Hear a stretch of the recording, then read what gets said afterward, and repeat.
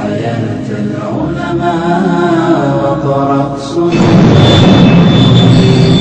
ودم على تواضع لا تفتخر بالنسب كفاك أن تخرج من دنيا الورى بالحسب.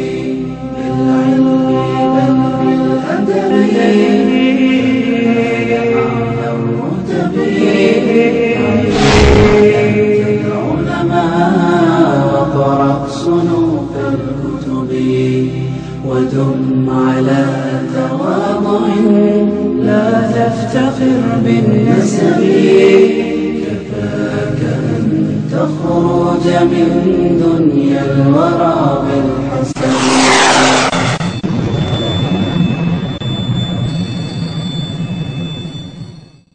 بسم الله الرحمن الرحيم. مؤسسة صدى. للإنتاج الصوتي والمرئي.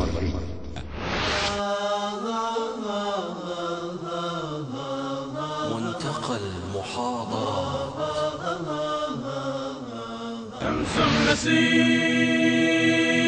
أنتم نسيم الروض في قاع الحشا. أنتم رياض فاح منه كلامي. فالطير يشدو بالنشيد ترنما. يهدي إليكم أجمل الأنغام الورد في عبق الطبيعة روضة.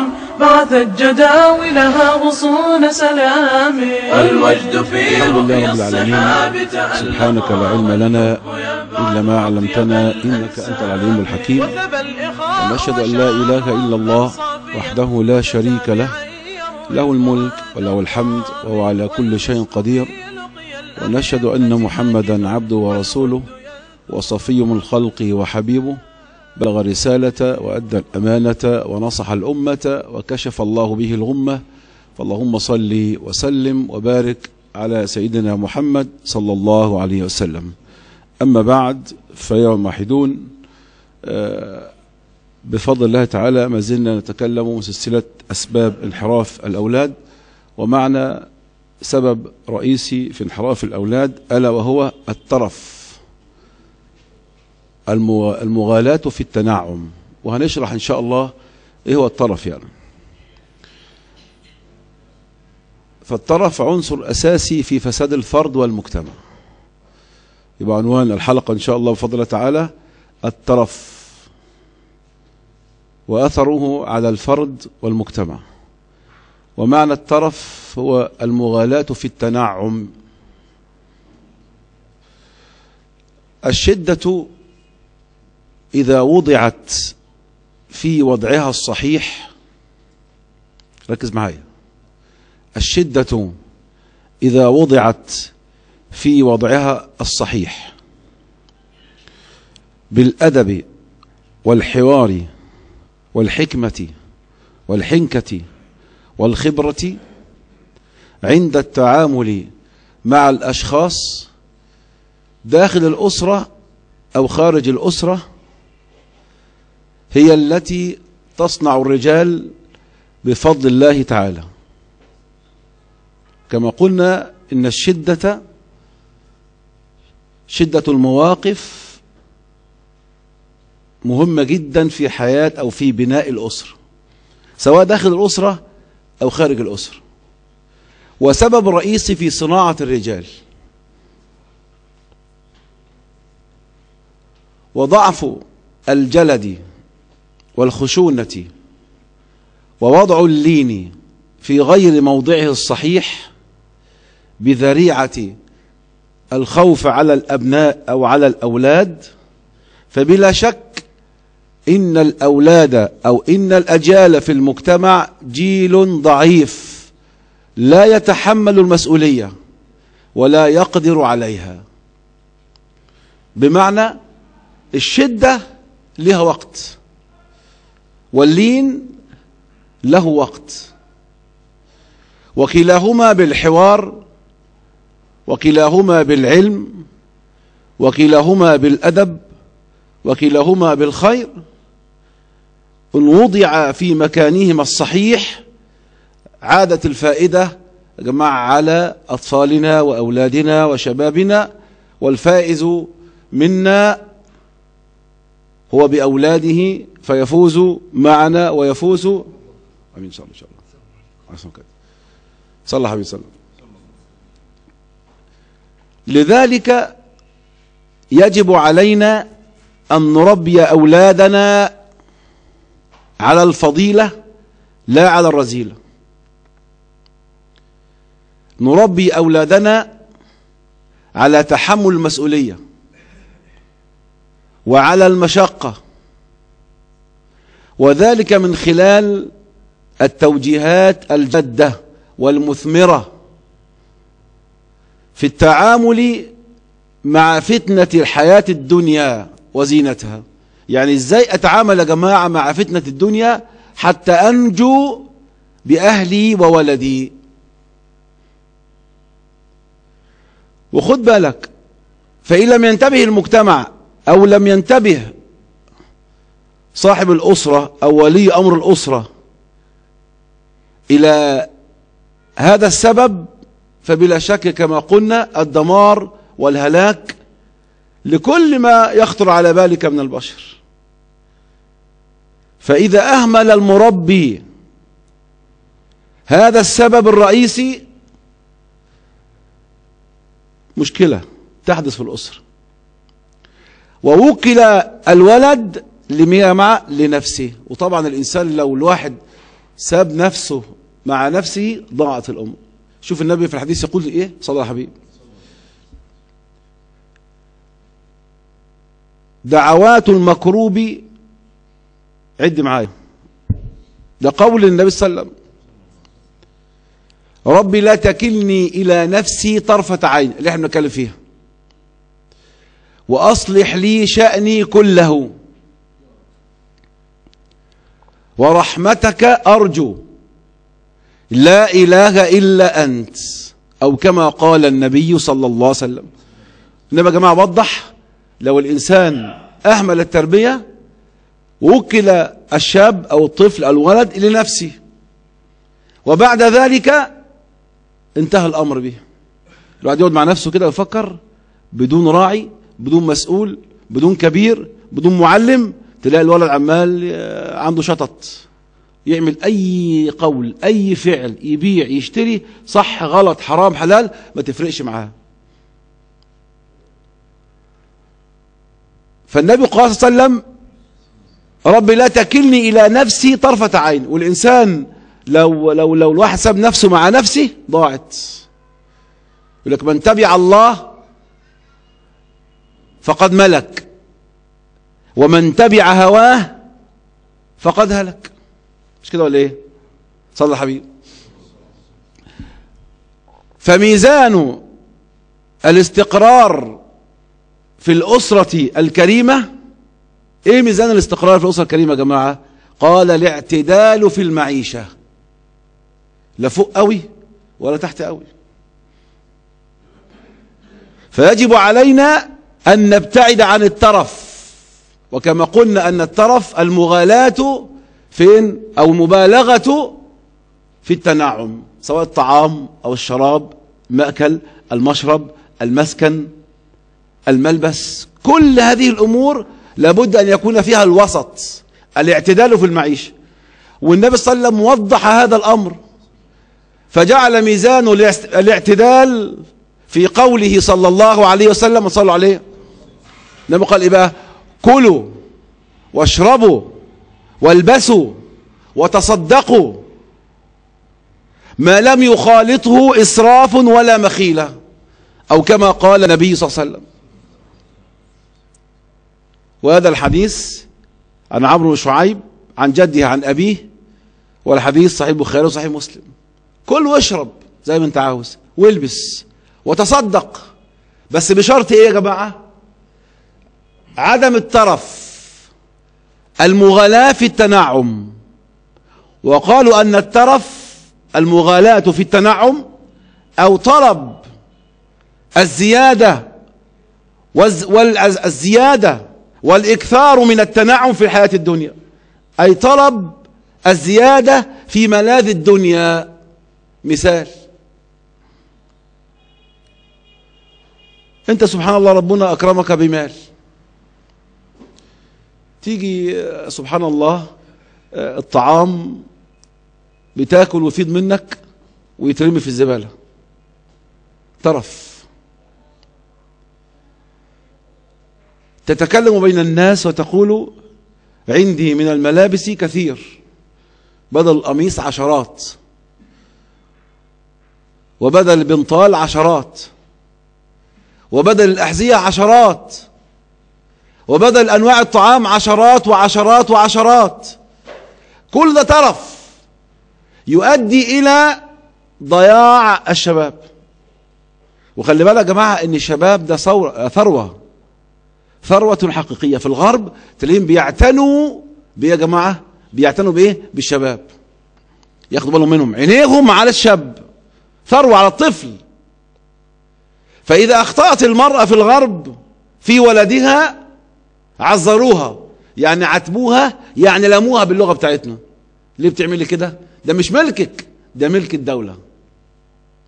ثروة فقالوا أنت وعاء أنت أمانة عندك تحافظ عليها. وبرضه بالأب أمانة عندك تحافظ عليها. فعشان الاعتدال يا جماعة يبقى موجود ومضبوط النبي وضح ميزان الاعتدال. عاوز الأسط... ال- ال- الأسرة تستقر بفضل الله تعالى يحصل يا جماعة؟ ها؟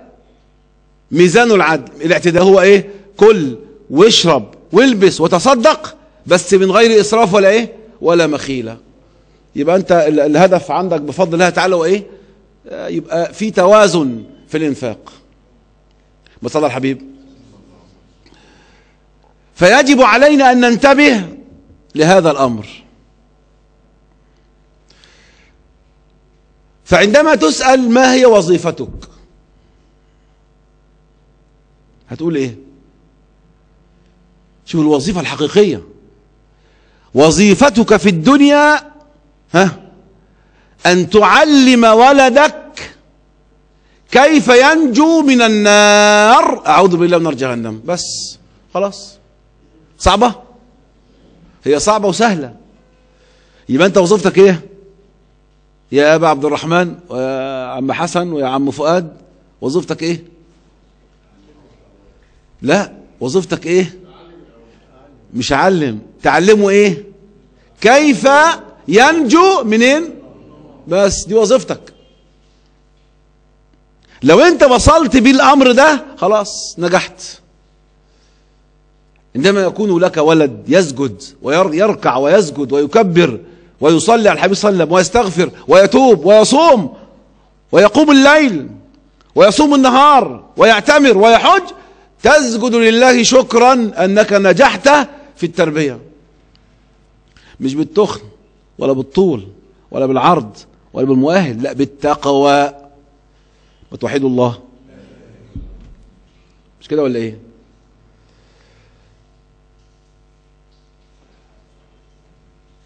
ومن رفس النعمة ضيع نفسه. ربنا يقول في الآية إيه؟ وإذ تأذن ربكم لئن شكرتم ها؟ لأزيدنكم. ولئن كفرتم إن عذابي لشديد. أهو.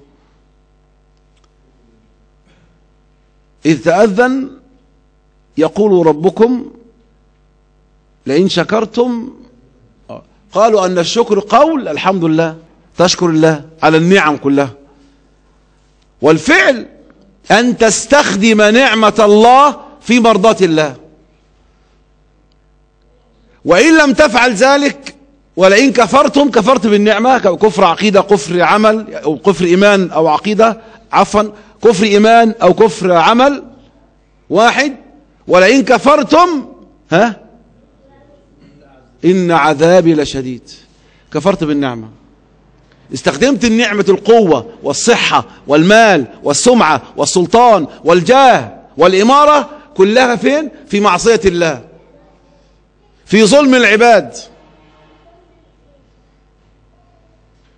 فالعذاب في الدنيا لا بركة في عمل لا بركة في صلاة لا بركة في أي عمل. لأن أساس ما بني على باطل فهو إيه؟ باطل. ولئن كفرتم لا يا جماعة؟ ها؟ إن عذابي لشديد. يبقى في الدنيا بهدلة وعدم بركة وفي الآخرة عذاب شديد يعني إيه؟ دخول النار. والعياذ بالله. سلم يا رب سلم. اللهم إنا نعوذ بك من عذاب النار. لذلك حذر المصطفى صلى الله عليه وسلم وقال في هديه بيقول وبينصح سيدنا معاذ بن جبل. جزاك الله خير. اديها بقى الاخ دوت صلى الحبيب أقسم بالله.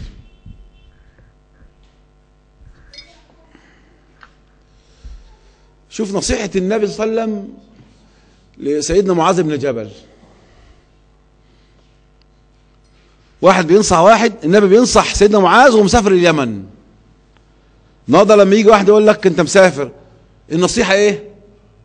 بالك. طبعا لو كان شر هتلاقي النصيحة كلها ما يعلم بها الا ربنا أما لو كانت خير هيبقى خير ليك وليه. فقال المصطفى صلى الله عليه وسلم لسيدنا معاذ بن جبل يا معاذ إياك والتنعم أهو. إياك وإيه؟ إياك والتنعم.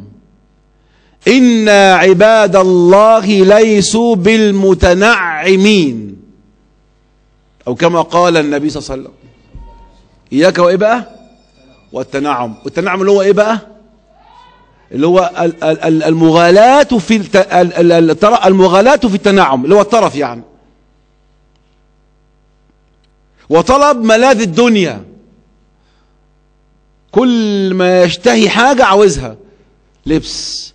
أكل شرب قصر فيلا شقة. تلاقي سبحان الله شقة في الحتة دي شقة في الصيف وشقة في الشتاء وشقة في الربيع وهنا مش عارف فين وهنا روح وهنا سبحان الله. سبحان الله. وتخش عنده في الدولاب تلاقي إدراج. ما بيلحقش يلبس ال- الجلباب أو العباية أو القميص أو البنطال أو الحذاء. يعني ممكن يلبس الحذاء مرة واحدة في السنة. نوع من أنواع الأحذية. أو نوع من الق- آه، الملابس. سواء اللي فوق الأعلى أو الاسفل وبيعد. والنبي صلى الله عليه وسلم حذر من هذا الأمر. يا معاذ إياك والتنعم. أهو. ليه بقى؟ إن عباد الله ليسوا بالإيه؟ بالمتنعمين. والحديث في مسند أحمد بسنده عن معاذ بن جبل رضي الله عنه وعن صحابة النبي والحديث صحيح. إياك وايه بقى. حذره من التنعم. لو أنتوا فاكرين في اول أول درس قلنا إيه؟ لازم يكون في شدة ولين. الشدة في مكانها واللين في مكانها. لو حصل خلل تلاقي يحصل إيه؟ ضياع وهلاك للأسرة بالكامل. وكما قلنا من قبل أن الله تبارك وتعالى حذر من الترف اللي هو يعني إيه؟ التنعم. في عندك مغالاة في الطعام مغالاة في الشراب مغالاة في الملابس مغالاة في كل ملذات الدنيا. وخد بالك. ليس كل ما يطلب لولدك يجاب أو يطاع. مركز معايا؟ يا عم فهد. ليس كله إيه؟ ما يطلب لولدك يجاب أو يطاع. وإنما وإنما للمطالب حدود. لازم يكون في سقف. تعلم الولد في هنا في سقف الايه؟ المطالب. خد بالك. سقف المطالب. لا تاني. ليس كل ما يطلب يجاب أو يطاع للولد وإنما لل- للمطالب حدود. طب لو ما كانش المطالب حدود يحصل إيه يا عم حسن؟ هات خد هات خد هات خد هات خد. فإن تعطل العطاء لإحداث الترف أو المغلاة في التنعم أو تعطل العطاء للرفاهية يحصل إيه؟ سرقة يسرق منك أو يختلس من مصنعك أو يعمل نصب واحتيال. ولو ما قدرش في مقاومة إما أن, إما أن يسفك الدماء أو ينتحر. يبقى انحرافه مش انحراف مين السبب فيه يا عم حسن؟ يا عم فؤاد مين السبب فيه؟ يا أبو عبد الرحمن مين السبب؟ أنت. رحم الله رجلا أعان ولده على بره. شوف الكلام الجميل. الاب فهم القضية من أول ال- زي واحد بيقول لواحد لو سمحت ادعي لي إن ابني يصلي. عنده كم سنة يا عم الشيخ؟ في كي جي 2 أولى ابتدائي؟ قال له لا عنده 29 سنة. جاي إمتى بقى إن شاء الله؟ 29 سنة. زي واحد راح الامام احمد بن حنبل أو أحد من الأئمة الله أعلم قال له يا إمام لقد رزقت بمولود منذ أسبوع يعني عمره إيه يا ما ما حسام؟ سبعة أيام. ولما أتيت؟ قال أتيت لكي أتعلم كيف أربي ولدي. قال والله العظيم انت اتأخرت. وإحنا بنبدأ نربي أولادنا إمتى؟ بعد ما يكبر. بعد ما شاب. صدر حبيب. مشكلة يا جماعة. التربية مشكلة. الواحد لما خدش باله هيضيع. انت مش بتأكل وتشرب بس انت بتربي. ابنك عاوز استنى شوية. ابنك عاوز استنى شوية. ابنك الضرورة اللي تمشي. لابد أن تعلم الولد أن يتعلق بإيه؟ بطاعة الله. لو أنت وصلت يا جماعة للأمر ده خلاص. وقالوا أن الترف في الأسرة قنبلة موقوتة. ركز يا عم حسن. الطرف بقى إيه؟ يبقى الطرف معناه يا جماعة إن إيه؟ مغالاه فين في التنعم. مش زيادة الخير خيرين لا ما ينفعش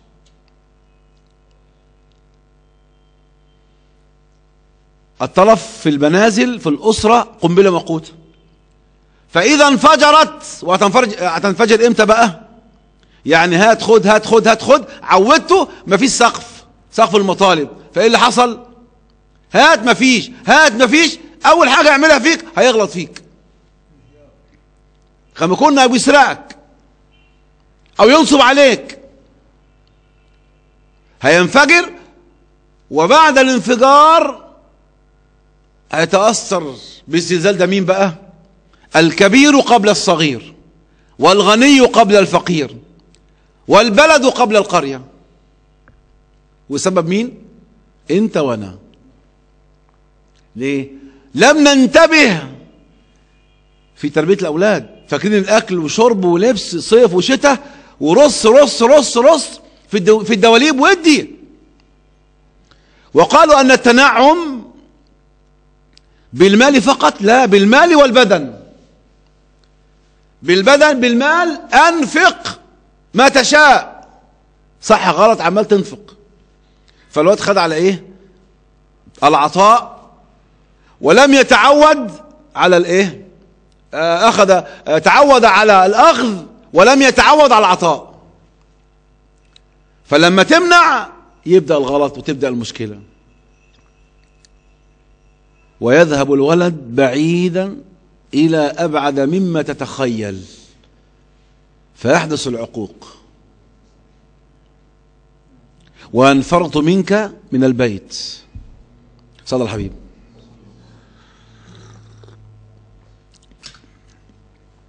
وبعد ذلك من الخاسر؟ أنا وأنت. لازم تربي ابنك إزاي أنت بتجيب الجنيه أو بتجيب عملة اللي أنت تتقاضاها في عملك ايا كان هي العملة. لو ابنك ما شعرش ما شعرش بقيمة الجنيه أو العملة اللي أنت بتقتضيها أو بتاخدها من العمل خلاص انتهت. الصبح الولد عاوز بكرة يبقى الطعام والشراب والملبس والمأكل وكل حاجة. وهديك أمثلة. في الإيه؟ في الطرف. ركز يا عم الحاج معايا. نعم.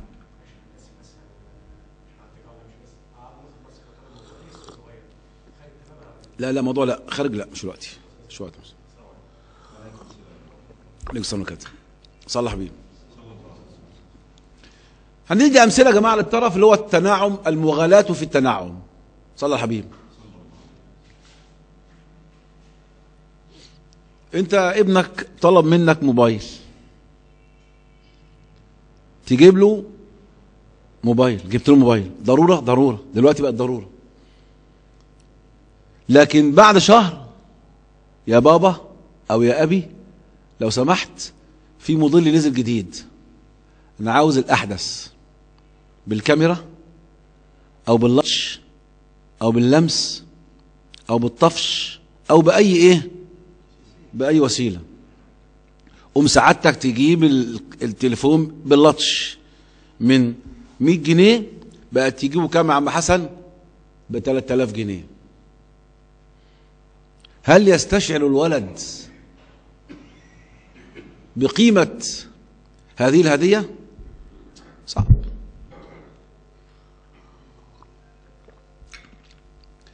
فلماذا نتسابق؟ في الطرف ولا ندري. تبقى شاري التليفون النهارده عم فؤاد بعد أسبوع تلاقي تلاقي تليفون مع زميل ليك أو صديق ليك أو جارك أو أخوك عاوز تجيب زيه أو إيه؟ أحسن منه. طرف. مش كده ولا إيه؟ دي كارثة. الترف أيضا عدم التعمد عدم تعود الأولاد على المشقة وعلى تحمل المسؤولية. هديك مثال ثلاث أمثلة ثلاث قصص سمعناه بأنفسنا. واحد تزوج والله عز وجل رزقه بأولاد. كلهم ذكور. كم واحد بقى عم الشيخ؟ ثلاثة ترعرعوا الأولاد وكبروا. الأب شديد عنده حرفة عنده مصنع خشب آه، بيقطع وبيعمل محتاج صناعية. فالعيال كبرت. فبدأ ينزلهم فين؟ معاه. الأم صرخت إزاي؟ هتبهدلهم هتتعبهم هت مش عارف إيه إيه إيه إيه تأثر الرجل. فإيه بعدهم عن إيه؟ عن المصنع. كبروا الأولاد. لم يفلحوا في الدراسة. فتوفي الوالد. فدخلوا المصنع فأفسدوه وباعوا ما فيه. القصة دي أنا عارفها في مكان ما. لا داعي لذكر اسم وفي الآخر عملوا مشروع عم فؤاد مشروع موبايلات. ألو بنص جنيه. ثم فشلوا والآن في فشل ذريع. مين السبب؟ الأم. خايف عليهم. ها؟ ضعف الخشونة كما قلنا في أول الدرس. ضعف الخشونة وإيه تاني يا عم الشيخ؟ والجلد. واللين في غير موضعه ضيع العيال. السبب إيه؟ أنا وأنت. فالأم طبعا ضيعت مين يا أستاذ؟ ضيعت المين؟ الولد. الثلاثه لا تعلموا حرفة؟ ولا تعلموا في مدارس ولا حافظوا على المال. عليك. عشان كده قلنا لابد أن يكون فيه شدة في وضعها الصحيح. يخرج جيل إيه يا جماعة؟ فاكر عم الحاج زمان ما كان أبوك وأبويا ياخدنا يودينا فين؟ الشغل معاه. ويقعدنا خلينا نبص. ليه؟ شوف العرق. العرق والتعب. نوع تاني تيجي الاجازه أجازة الصيف قوم يحصل إيه؟ يقول لي يا ولد روح فين؟ مصنع الفولي أو مصنع ال- الملابس أو عند المنجد أو عند النجار. كان زمان يا جماعة كان ربنا يكرم ال- ال- الناس زمان كان يقول من تعلم علما فلا بد أن يتعلم حرفة معها. عشان يتعود ما إيه؟ ما ياخدش. هات خد ولكن يتعود على إيه؟ آه. أيام اللمضة الجاز والسبرتاية خرج تجار وزراع وأطباء وعمال يتحملون المسؤولية. كل الحرف خرجت في الخمسينات والستينات والسبعينات وأواخر السبعينات كلهم عندهم إيه؟ جلد وتحمل المشقة. بسبب مين؟ وابنك لو رجع وراح عند الصنايعي في في في مصنع ولا في ورشة وحصل إن الصنايعي زعله ابنك يغضب ويرجع قوم أنت تاخده ترجعه من إيده وتلوي دراعه خد اتعلم الصنعة. بيحصل دلوقتي؟ فضاعت الأمور. آه الله يفتح عليك. عم حسن. سيدنا عبد الرحمن بن عوف القصة بيقول عم حسن. آه واحد عرض عليه الأموال. قال دلني على السوق. اديني بس فين؟ السوق فين؟ ومالكش دعوة. وتوفي وسيدنا عمرو بن عوف ده فين؟ عبد الرحمن بن عوف ده منين؟ من أهل مكة. ما يعرفش حد في المدينة. فلما أخى بين المهاجرين والأنصار النبي صلى الله عليه وسلم في في, في المدينة قال له بس سيبوني ودوني ال- ال- ال- السوق واتصرف أنا يقول لك عند وفاته لقوا عند في بيته على على ما يتساوى في عصرنا ملايين ال- العملات. طب لو كان واخد على التسول. آه. تلاقي التسول في بلاد العرب والمسلمين أكثر من التسول في أوروبا. ليه يا جماعة؟ ان العدو مطلبه الأساسي إيه؟ لا نزرع لا نصنع لا نبني لا نخترع ولكن نأكل ونشرب وإيه؟ وننام. الله الله الله الله. ما صلى الحبيب. آه إيه؟ ولو نمت الله يفتح عليك. هوريك الترف اللي بيحصل وإحنا لا ندري.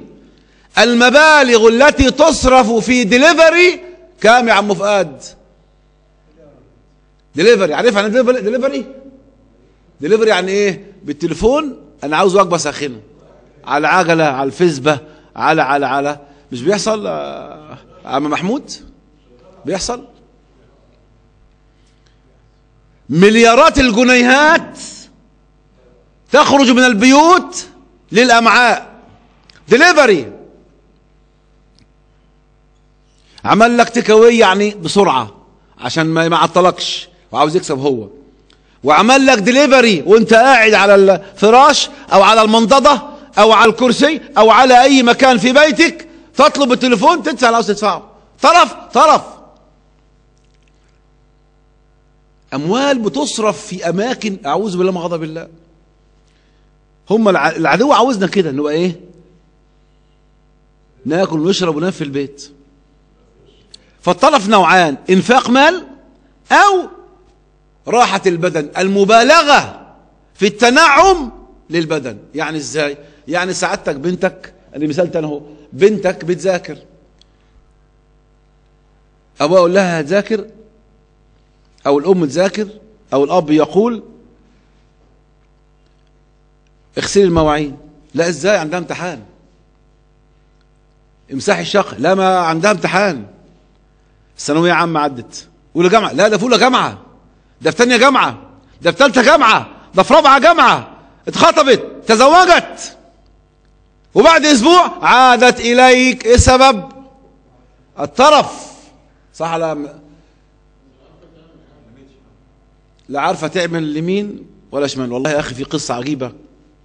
واحد أيام ال- عارف الباجور يا عم فؤاد؟ الباجور يا عبد الرحمن؟ ال- ال- الباجور المفروض بيتعمر منين؟ من فوق. لا الزوجة دي مؤهل عالي فما فيش بوتاجاز. فجاء تعمر الباجور عمرته من الكباس. يعني إيه؟ ضيعة الضوافر قد كده. الجسم زاد. الله. هو زي واحد يقول لك إيه؟ يا عم الشيخ أنا تعبت في حياتي في حياتي أيام ما كان والدي عايش والدتي. كنا اللي يلحق لقمة ياكلها. فأنا مش عاوز ولادي يتعذبوا. الله سبحان الله ده اللي عمل معاك كده هو الذي جعلك رجلا. تتحمل مسؤولية تزوجت وأنجبت. ودلوقتي معاك ما شاء الله أولاد تحافظ عليهم. يقول لك لا أنا مش عاوز أعود ولادي وأتعبهم زي ما تعبت. ومعودهم على الترف الأكل بالزوفة في البيت في الثلاجات في ال deep freeze. وخلي بالك ال deep freeze ده مش رفاهية ده طعام فاسد. أيام النبي صلى الله عليه وسلم يقول النبي بنفسه أنا ابن امرأة تأكل القديد. اللي هو اللحم الإيه بقى؟ الجاف. لو أنتوا فاكرين في الخمسينات أو الجدود الناس اللي بتعرف الكبيره السن اللحمة كانت بتتجمد وتتلف في مية في قماشة مية وتبقى إيه؟ وتقطع منها زي ما انت عاوز. كان في ثلاجات وادي فريز آه أما دي بفريز ده يا جماعة ده بيؤثر على الحياة. البكتيريا بتترعرع. فالنهاردة دليفري تلاقي الأولاد ماسكين موبايلات حديثة. ضاع منه التليفون فداك. ضاع منه القلم فداك.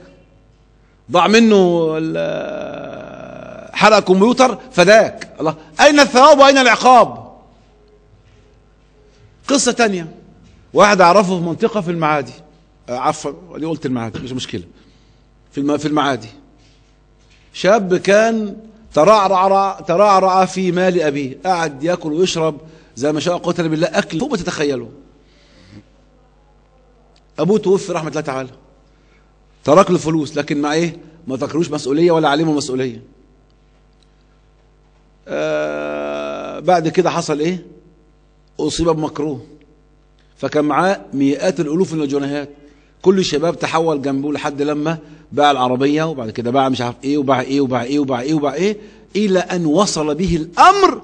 والله يتسول في الطرقات الآن. مين السبب؟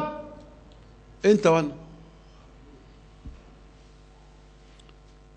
الأم لا البرد. لا ما يشتغلش الله، إزاي؟ الأب اللي بيفهم يعني إيه تربية تيجي الأجازة اطلع. ما هو الطرف في البدن طرف البدن اللي هو إيه؟ تلاقي الواد نايم من الصبح سهران ليل ونايم لحد العصر. وفي رمضان بعد الفجر وإن صلى الفجر في جماعة وإن صلى. بقى يصحى الأذان يا أستاذ. الله أكبر يفطر وينزل يسهر. لا صلاة. ما انت انت السبب ويا عالم ولا صوم ممكن. طرف البدن. فالنهاردة البنت التي لم تتعود على نظافة البيت وعلى عناية البيت وعلى إعداد البيت وعلى تنظيف البيت وعلى آه، ترتيب البيت تطلع إيه؟ فاشلة. يا بيحدث في بيحدث بين بين الزوج والزوجة الآن بين الشباب بعضهم. طلب الطلاق ليه؟ مش قادرة تستحمل. تعالى النهارده لو الأنبوبة فضيت إحنا في عصر عصر الأنابيب دلوقتي وصلت أكتر من 30 و40 جنيه. ولو خدتها وخلصت ومش لاقيها هتعمل إيه؟ ديليفري خلاص. لكن البنت اللي تخرج من بيت أبيها خلاص تبقى ممتازة. تعرف تطبخ وتاكل وتشرب وتأكل وتشرب وترتب وتنظم فيعود النفع على مين يا جماعة؟ على الأسرة وعلى المجتمع وعلى الدولة ومن بعد كده يجي لها أولاد تعرف إزاي تربيهم تربية مظبوطة مش كده ولا إيه؟ ما صلى حبيب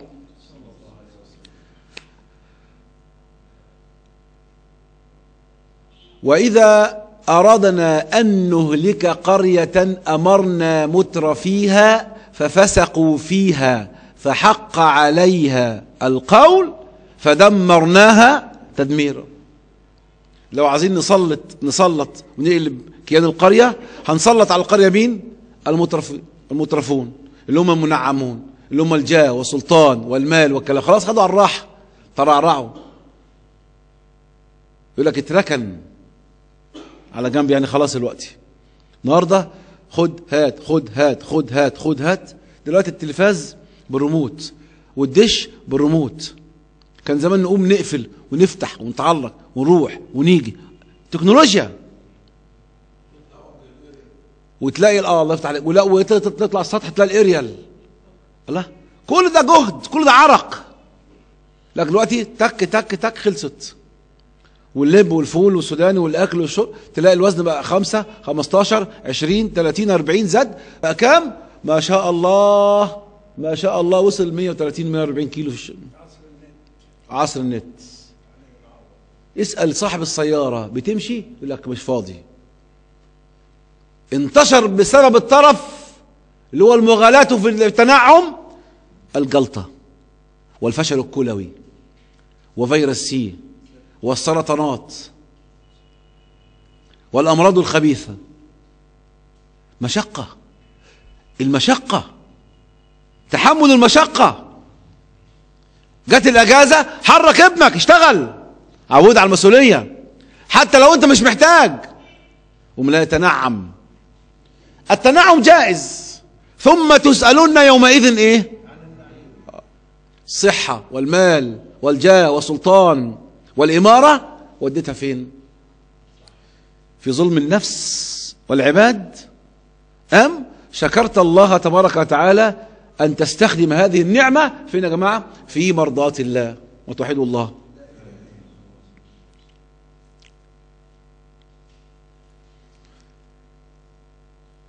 النبي قال في الحديث يا جماعة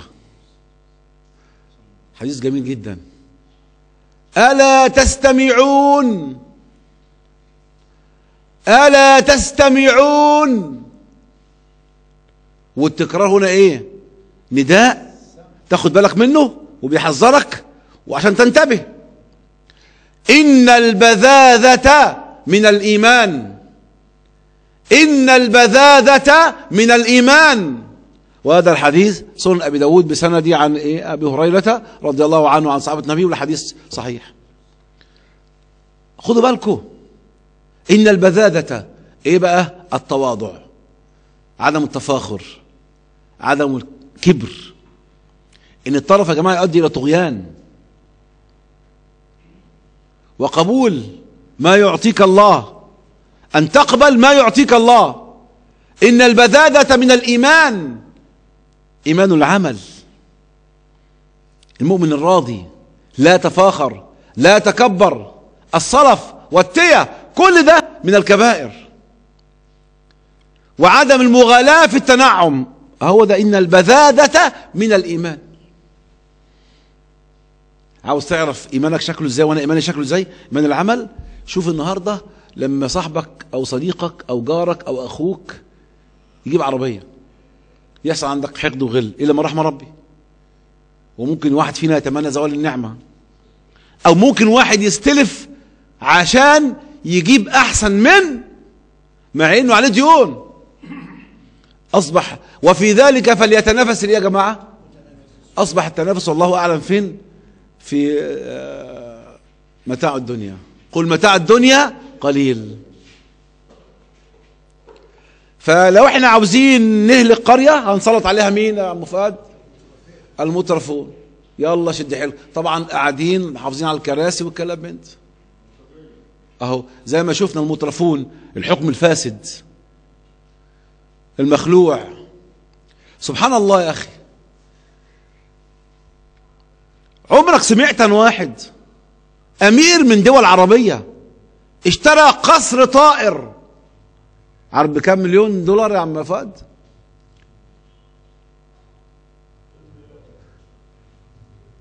مش عارف بقى 2 مليار دولار. ولا 500 مليار دولار ولا 162 مليار مليون دولار. الله أعلم بملايين الدولارات عشان ما نقدرش نعرف الرقم كام. ملايين الدولارات. طيب ولو في آه، صعقه وبرد و- ورعد والطيارة سقطت يبقى كام مليون دولار في الطين؟ أو كام مليار دولار في الطين؟ أهو تخيل. تخيل صق قصر طائر. إحنا شفناه مرعب. فتنة فعلا فتنة فتنة. كام مليار جنيه الله أعلم. طب سقط في حادثة؟ خلاص. انتهى. طب كم مليار كم مليار جنيه دول يأكلوا مين؟ ويشربوا مين؟ ويزوجوا مين؟ ويشغلوا مين؟ ويستروا مين؟ آه. والعمال وال سلم يا رب سلم. انظر إلى ابنك لما يقول لك أنا عاوز لعبة عاوز لعبة. تجيب له إيه؟ هتجيب له اللعبة الصيني هي أم كام؟ 50 قرش.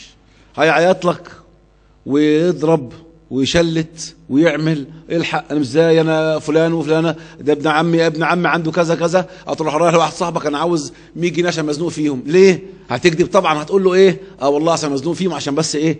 ال ال الدنيا عندي واقفة. وانت أصلا كاذب. هتروح تجيب إيه له يا عم فؤاد؟ تجيب له لعبه بكام؟ ب 100 جنيه لابنه. تجيبها وتدخلها. تنام وتصحى فين اللعبة؟ وقعت في الحمام. خلصت. 100 جنيه راحت فين يا أستاذ؟ مع الريح. السبب انت. أنا بجيب لك الكلام ده من الواقع. بجيبه لك من الواقع. ولا داعي ذكر أسماء ولا الأماكن. قصة تاني برضه في الطرف امرأة بتكد مع زوجها عمالة إيديها بإيده ما شاء الله عليهم وعندهم بنات ذكور وإناث. أم الولد شايف نفسه شوية والكبير فأبوه فرحان بيه. القصة الأولانية سبب ضياع الولد مين؟ الأم. القصة الثانية سبب ضياع الولد الأب. بسبب الإيه؟ الطرف. المغالاة في التنعم. زيادة. هات خد هات خد. الأم تقول له لو سمحت ابنك هيضيع.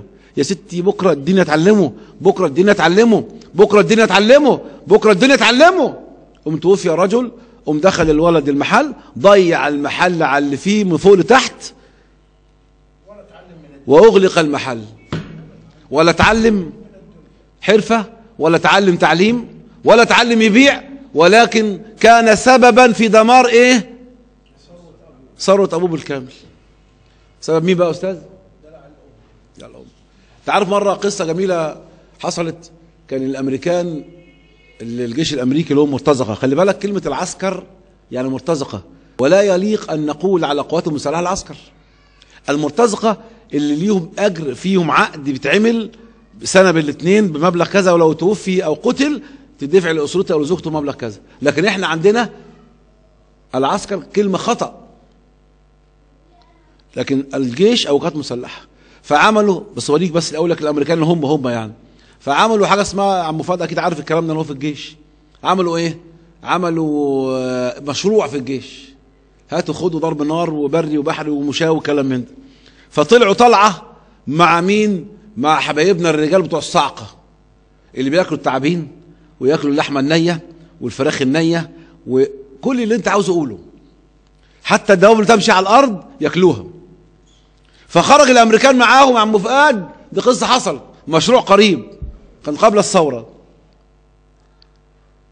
بيقول لك أصيبوا بحالة نفسية سيئة وتركوا الميدان ميدان المشروع وأطلقوا على قوات الصعقة المصرية أنهم ليسوا ببشر.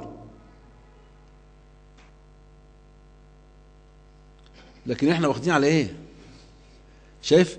دي شهادة ولا مش شهادة؟ آه. فالراجل المسلم القوات المسلحة عنده عقيدة. إما آه النصر أو إما بيفوز بإحدى الإيه؟ حسنيين. النصر أو الشهادة. ولو جرح مكلوم أجر أجر بالعمل شوف بقى اتهموا ده اتهام. بيقول لك و و و و وألغي مشروع بعض القوات الأمريكية مع القوات الخاصة من الصعقه يبقى رجالة مش رجالة. ما هو ده؟ عدم الطرف. تنعم. تلاقي معاه الماء الساقعه ومعاه السخنه ومعاه ومعاه ومعاه ومعاه ومعاه ومعاه. كل ما يخطر على بالك من الرفاهية. لكن عند الميدان لا يتقدم ما عندوش خبرة. حياته غالية جدا. ما عندوش عقيدة. لكن انت عندك عقيدتك إيه؟ وعقيدتي إيه؟ إحدى الحسنيين النصر أو الشهاده ولو مجروح كما قلنا لك الأجر. ما صلى الحبيب فاصبح القصة الأولى الأب الأم سبب فشل الإيه؟ الأولاد أو الأولاد ثلاثة والقصة الثانية الأب هو السبب فشل بسبب الإيه؟ التنعم. المبالغة في التنعم. مش كده ولا إيه يا جماعة؟ شوف سيدنا عمر الخطاب آه شيخ محمود أرسل رسالة لسيدنا قتادة. وسيدنا قتادة فين بقى عم حسن؟ كان في اباذربيجان اللي هي جنب العراق في شرق آسيا كده أو جنوب آسيا. فكتب لهم إياكم والتنعم. يعني الزيادة فين؟ آه أيوه الترفيه الله يفتح عليك إياكم والتنعم. وزي الأعاجم اللي هو لباس الأعاجم اللي هو بيرفرف والحرير والذهب وبيطير وبيزحف الأرض والكلام من ده. إياكم والتنعم. وزي مين؟ الأعاجم. شوف الكلام الجميل بقى. فعليكم بالتحمل والقوة. يبقى إياكم والتنعم وزي الأعاجم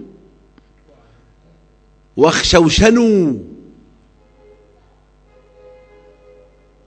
واعدودونوا. وإيه كمان؟ واقطعوا الركب. وابرزوا. وارموا الأغراض. قوة. مفيش تنعم مفيش رفاهية.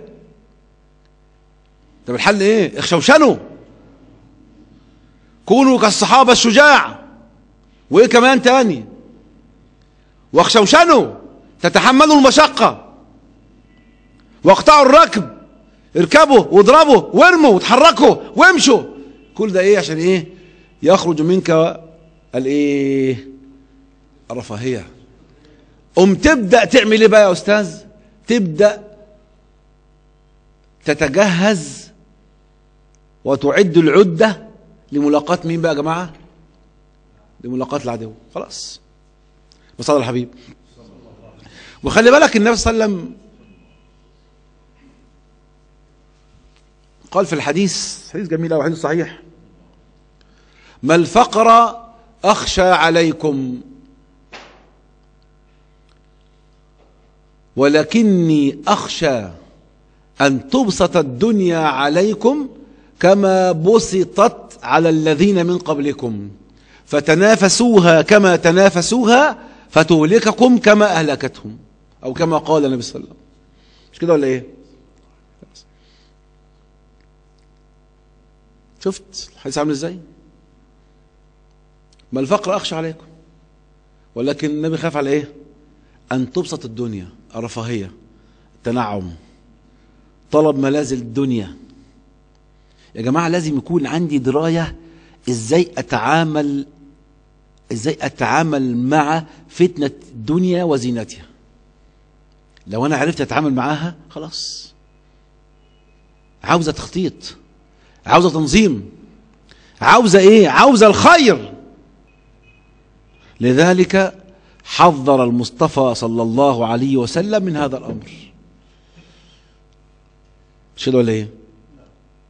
وخلي بالك مظاهر ال- ال- الترف تتحدث فين؟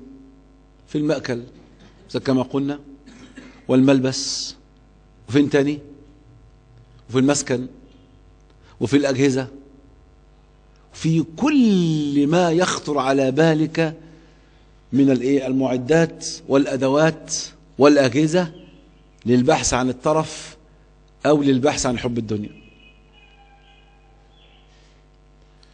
يقول لك اللهم أدخل في قلوبنا حب لقائك. إن سئل واحد قال ما, هو ما معنى الزهد في الدنيا؟ قال الزهد في الدنيا ألا يغلب الحلال شكره ولا الحرام صبره. يعني بمعنى طلب الآخرة. شفت الجمال؟ مش كده ولا إيه؟ فالنهاردة يا جماعة لو عودت ابنك على الطرف ضعت ضيعته ضعت معاه. مش كده وبس؟ هتسيبه يشتغل ويبقى الأسر كلها مفككة والسبب أنا وأنت. فإن لم نلتفت إلى قول المولى تبارك وتعالى إلى القرآن أو إلى السنة الصحيحة كيف نتعامل مع الأولاد؟ خلاص الموضوع منتهي. مش كده ولا إيه؟ وبعدين النهاردة لو فهمت ابنك يا جماعة آه، آه، ال كيفية الرزق وكيف يرزق الإنسان. خلاص الموضوع يخلص. النبي كان يقرأ ألهاكم التكاثر حتى زرتم المقابر كلا سوف تعلمون ثم كلا سوف تعلمون كلا لو تعلمون علم اليقين. لترون الجحيم ثم إيه؟ ثم أيوه ثم لتسألن في آخر الآية عن النعيم. فقال يقول الإنسان مالي مالي. فقال هل لك من مالك إلا ما أكلت؟ فإيه؟ فأفنيت أو لبست فأبليت. الله يكرمك الله يفتح عليك يا عم حسن. أو لبست فأبليت. صلى الله الحبيب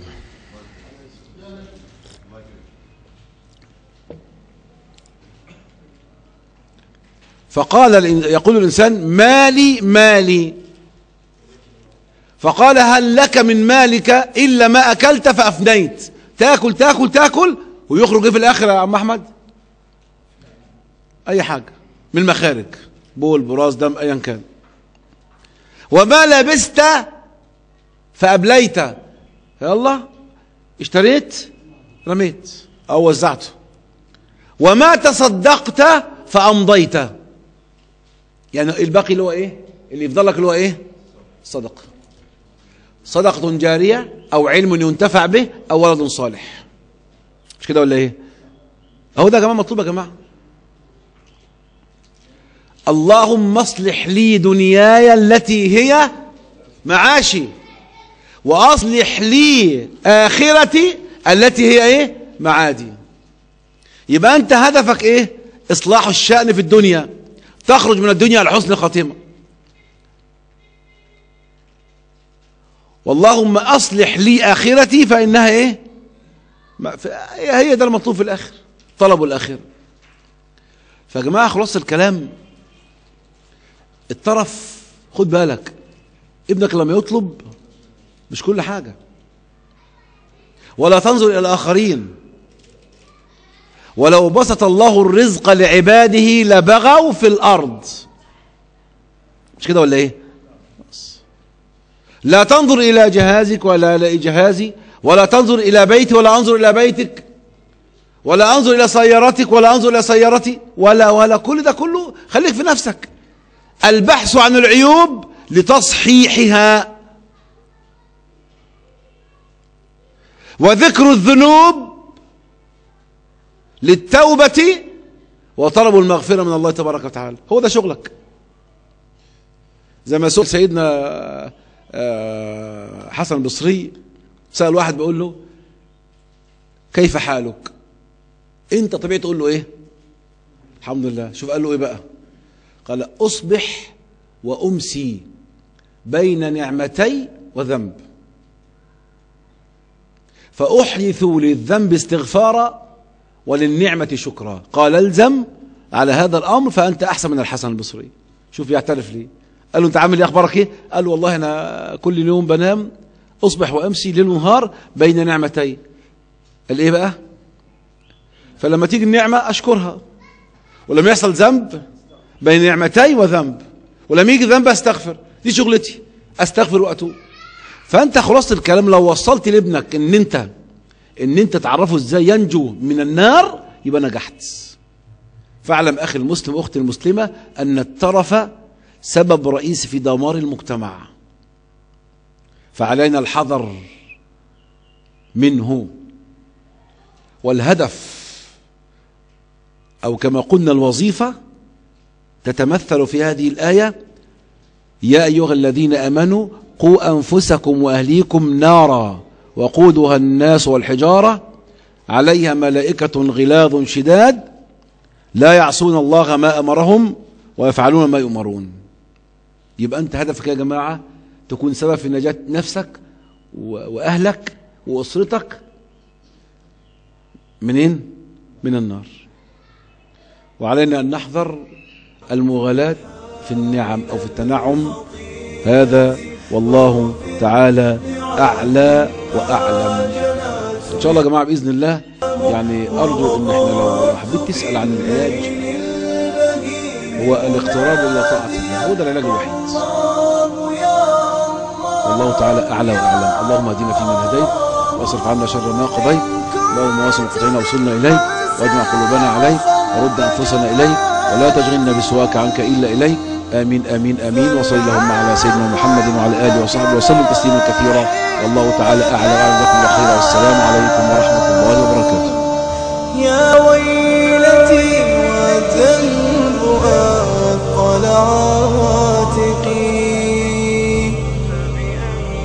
فبأي وجه في غد ألقاه بسطت يدي إليك تضرعا أواه مما قد